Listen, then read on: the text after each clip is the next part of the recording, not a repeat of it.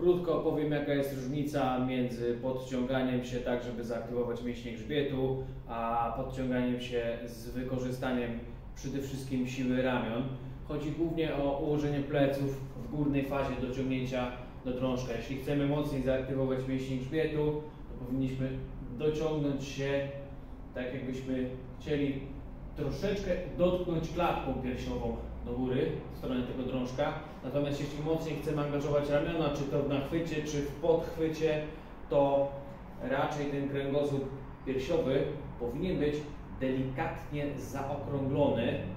Nie koci grzbiet, ale łopatki powinny swobodnie pójść sobie do rotacji wewnętrznej, tak żeby można było skupić się tylko i wyłącznie na tym, żeby przyciągać się za pomocą na przykład dwugłowego ramienia, za pomocą bicepsu. Teraz pokażę pierwszy wariant. Zrobimy sobie podciąganie pod chwytem. Ustalę się na szerokości swoich barków. I pierwszy wariant, czyli będę chciał w tym momencie dociągnąć się bardziej klatką piersiową do drążka. Oczywiście nie musisz robić z pauzą, to